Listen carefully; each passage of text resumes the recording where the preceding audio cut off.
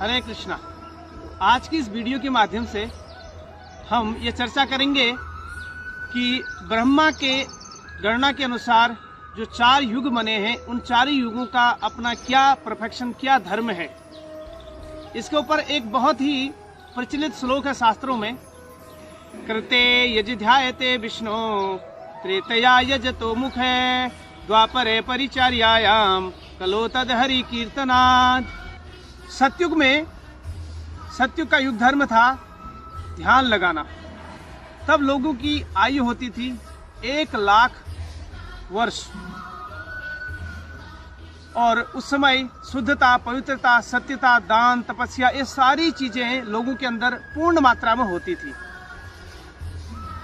और उसके बाद आया त्रेता। त्रेतया यजतो मुखे। अर्थात त्रेता में यज्ञ करने का विधान था युग धर्म था यज्ञ करना। और लोगों की आयु थोड़ा कम हो गई, दस हज़ार साल। और उसको सिल्वर युग भी कहा जाता था। और वहाँ पर किसी वस्तु का दाम, भाव, मोल थोड़ा होने लगा। थोड़ा लोगों के अंदर थोड़ा कंपटीशन की भावना हल्की फुल्की ईर्ष्या ये आने लगी। लेकिन कलयुग और द्वापर से कहीं ऊँचा था उस समय।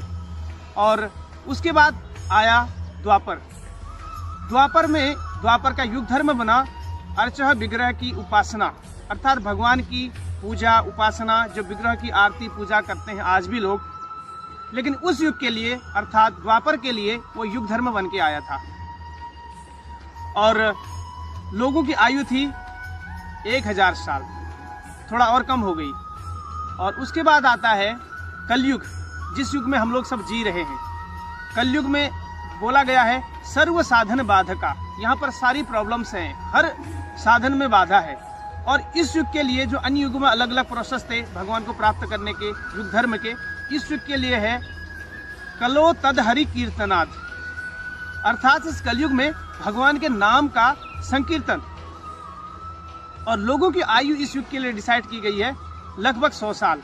लेकिन लोग उससे पहले ही शरीर त्याग देते हैं। और कलयुग में कुछ भी शुद्ध नहीं रहा।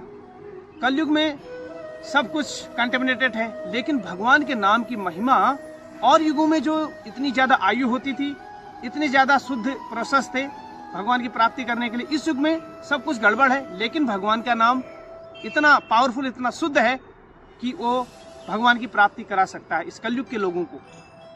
तो उसके लिए एक प्रचलित श्लोक है हरे नाम हरे नाम हरे नाम एव केवलम, कलो नास्ते नास्ते नास्ते गतिर अन्य था इस कलयुग में केवल भगवान का नाम, केवल भगवान का नाम, केवल भगवान का नाम एव वही केवलम ओनली शब्द लगा है। इसके अलावा तीन बार बोल दिया, नहीं है नहीं है नहीं है, कोई दूसरा उपाय नहीं है। तो तीन बार बोलने का मतलब इसके ऊपर कुछ भी नहीं है, और भगवान का नाम इतना शुद्ध है और इतना पावरफुल है कि इस युग में, इस युग के युग धर्म की प्राप्ति कराता है और भगवान की प्राप्ति कराने का एक शुद्ध मार्ग है, और ये इस युग का युग धर्म है। तो इस टॉपिक के ऊपर अगर आप लोग और भी वीडियो देखना चाहते होंगे तो आप हमको कमेंट कीजिए और ज़्यादा से ज़्यादा और जो हमारे चैनल पर नए हैं तो लाइक कीजिए सब्सक्राइब कीजिए। हरे कृष्णा।